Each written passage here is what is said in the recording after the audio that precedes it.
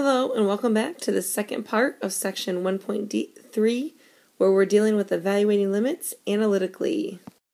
Now if you recall from the first part we were talking about what happens when we go to use direct substitution for solving limits and it doesn't work. Specifically if we get that 0 over 0 instance which is called the indeterminate form. So one of the methods that we can use uh, or two of them, I guess I should say, would be dividing out and rationalizing techniques. So, example 7 is going to deal with the dividing out technique. And in this case, it says find the limit as x approaches a negative 3 of x squared plus x minus 6 divided by x plus 3. Now, if you go to do direct substitution, so I'm going to write ds over here if I plug in a negative 3 and I square it, I'll get 9. I add a negative 3, I get 6. And then I subtract 6, that's going to give me 0. And if I go and I plug a negative 3 in for the denominator, I get negative 3 plus 3, which is also 0. So I end up with that indeterminate form, which means I have to do something else in order to solve this limit. This is not an acceptable answer. It just means it's going to take a couple more steps. So the first thing I usually like to look at is to see if you can divide something out. Is there a common factor between the numerator and denominator? So if we look at the limit as x approaches a negative 3, and we can factor our numerator into the quantity of x plus 3 times x minus 2, and we're going to divide that still by the x plus 3. And if you notice, I have a common factor in both the numerator and denominator that are going to cancel. So now we're left with the limit as x approaches a negative 3 of the quantity of x minus 2. And if I go ahead and do direct substitution, we end up with a negative 3 minus 2 which is going to give us a negative 5. So the limit as x approaches a negative 3 of x squared plus x minus 6 divided by the quantity of x plus 3 is really equal to a negative 5. And if we look at this problem graphically, you're going to see that the original function looks something like this. Okay, now I want to caution you on your calculator your calculator may not show this. Actually, most likely it will not show this as an undefined point unless you really zoom in.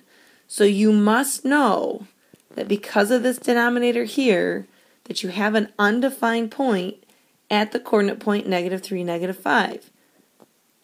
So now when we look at our limit, as we're coming in from the left and we're coming in from the right, we're still approaching that negative 5. So it does not change things when we factor out that common factor.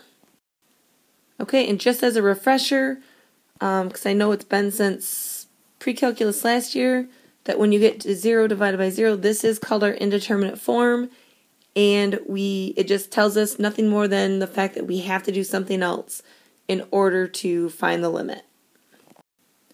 Now let's look at example 8. It says to find the limit as x approaches 0 of the square root of x plus 1 minus 1 divided by x. Well, in this case, if I do direct substitution, I've got 0 plus 1, that's going to give me 1 under the radical. So the square root of 1 is 1, minus 1 is 0. And if I plug a 0 in for x, I get 0. So I have my indeterminate form. I can't really factor this.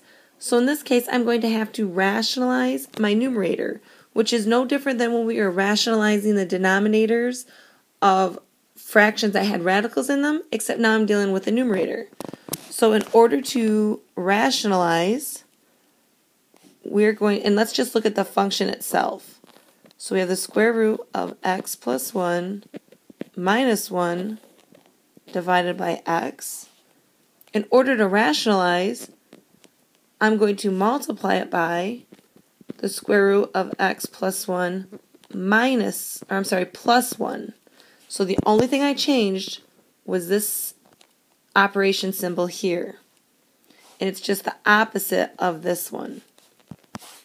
And then we're going to divide it by the same thing, which is the square root of x plus 1 plus 1 here.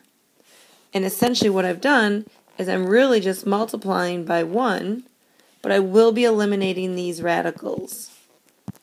So now when we simplify that, when you multiply these two things together, or terms, you end up with x plus 1. Because I have a plus here and a minus here, I know my middle terms are going to cancel, and then I'm going to be left with a negative 1 times a positive 1, which will give me a negative 1. And then in my denominator, I have x times the quantity of the square root of x plus 1 plus 1. And if we simplify, this one and this one will cancel out. So now we're left with x divided by x times the quantity of the square root plus 1 plus 1. I have a common factor again in my numerator and denominator, which is x and x. So this is going to give me 1 divided by the square root of x plus 1 plus 1, and I now have a simplified function. So let's go ahead and start out with our original problem. It said the limit as x approaches 0 of 1 divided by the square root of x plus 1 plus 1. And now if I do direct substitution and I plug that 0 in for x, I end up with 1 divided by the square root of 0 plus 1 is 1, plus 1 is 2. So I end up with 1 half. Again, if we look at this graphically, you'll see that your function looks like this. Make sure we know that at x equals 0, I have an undefined point. Okay, otherwise the rest of your graph is accurate on your calculator. Okay, and we'll see as we come in from the left and from the right, we are approaching that one half mark. You may even go in and look at your table, and you'll see that as we're coming in from the left, our y values are getting closer and closer to one half. Likewise, as we come in from the right, our y values are getting closer and closer to one half. So this is, these are two additional ways that you can confirm that your limit was calculated correctly. And last but not least, we have the squeeze theorem.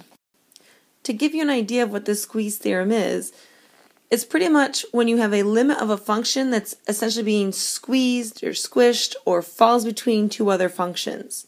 So just like as a picture, if you look at this, you have a function which they call g here, a function that you call h here, and then the function that you're taking the limit of actually falls right in between those two functions. Now the actual squeeze theorem, which says the same thing that when f falls in between h and g, for all x in an open interval, then the limit as x approaches c of h of x is equal to L, which also equals the limit as x approaches c of g of x. So that tells us that the limit as x is approaching c of f of x, which is the function in the middle, must also equal L. Now you may in some textbooks see the squeeze theorem referenced um, as the sandwich or the pinching theorem. They're all the same thing. And from this we have two special trig limits. This is something that you will have to remember. Nothing more than the fact because if you go to do direct substitution, you're going to see that you get 0 over 0 here. Likewise, you're going to get 0 over 0 here. So you need to memorize or know that these are two special cases. So the limit as x approaches 0 of the sine x divided by x is equal to 1. And the limit as x approaches 0 of 1 minus the cosine of x divided by x is equal to 0. So our last example for today says to find the limit as x approaches 0 of the tangent of x divided by x. Now, kind of like some of the techniques that we were talking about last year in pre-calc, it might be more beneficial to rewrite tangent in terms of sine and cosine. So if we rewrite this, we have the limit as x approaches 0 of sine x divided by x times the cosine of x. So the sine over cosine is still your tangent, and then we have our x piece, which is right here. So if we rewrite this now, oops, we can go the limit as x approaches 0, and I'm going to break that up into the product of sine x divided by x and 1 divided by the cosine of x. Now if you notice, the reason I did that is because now I have a special property that we just discussed, which is the sine x divided by x. And I know that I can take the limit of that and have it come out to a nice numerical value. So essentially now what we have is the sine x divi- the sine of x divided by x is really going to give us 1. And if I do direct substitution, the cosine of 0 is also 1. So I really end up with a limit of 1 times 1, which is 1. So the limit as x approaches 0 of tan x divided by x really equals 1. And now your fun fact today, which actually deals with frogs, says that frogs can see forwards, sideways, and upwards all at the same time. And they never close their eyes, even when they sleep. Thought that was kind of interesting. Hopefully, you guys have a great day, and we will see you in class uh, tomorrow.